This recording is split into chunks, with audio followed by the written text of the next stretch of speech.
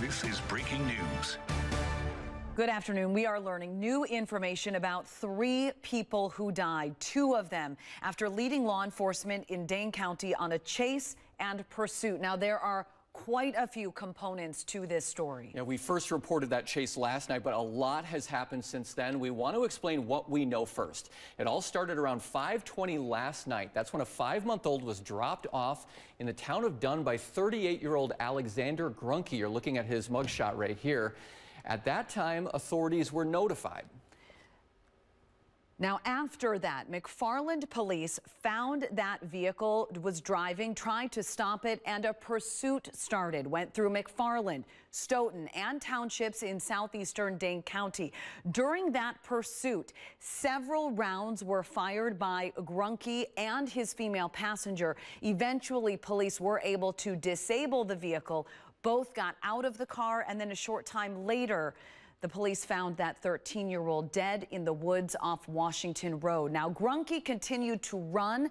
He ran into a home on Ramsey Road. Yeah, that home that he ran into actually had a woman and two children inside at the time, and it sparked an alert from Dane County Emergency Management. Now, the sheriff's office gave us an update this afternoon. Our Tyler Peters was there. Yeah, Tyler, you have details about how this all eventually ended, and today the sheriff says multiple deputies acted courageously last night.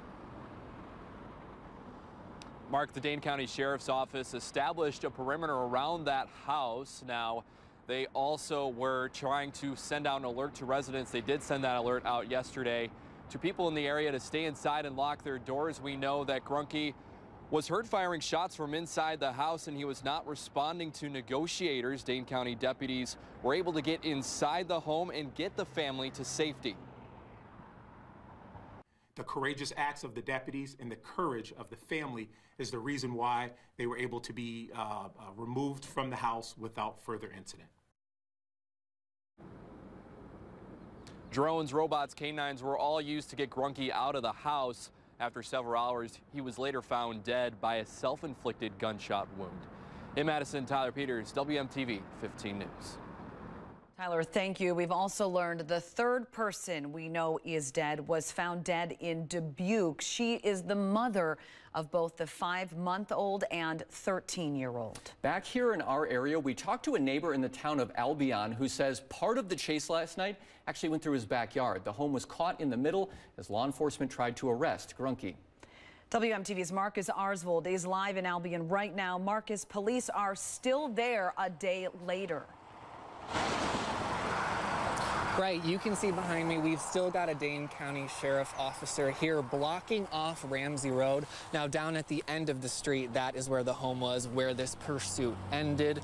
Now, I spoke with a neighbor who lives about a mile back that way on Washington Ave. It's about kitty corner to where this ended.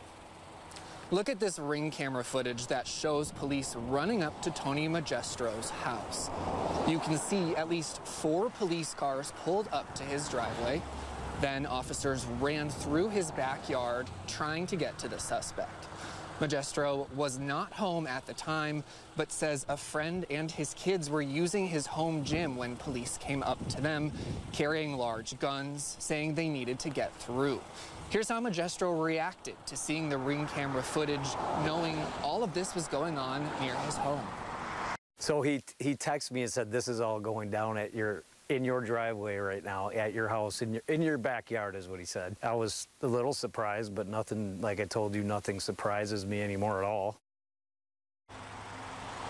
Magistro did not stay at his home last night. He went to a relative's home elsewhere, which is the same case I've heard from other neighbors who were told to lock down.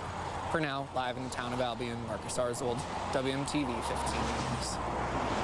Marcus, thank you. Now, some in Wisconsin are hearing the name Grunke, and it does sound familiar. That's because he was part of a 2006 case that made national headlines.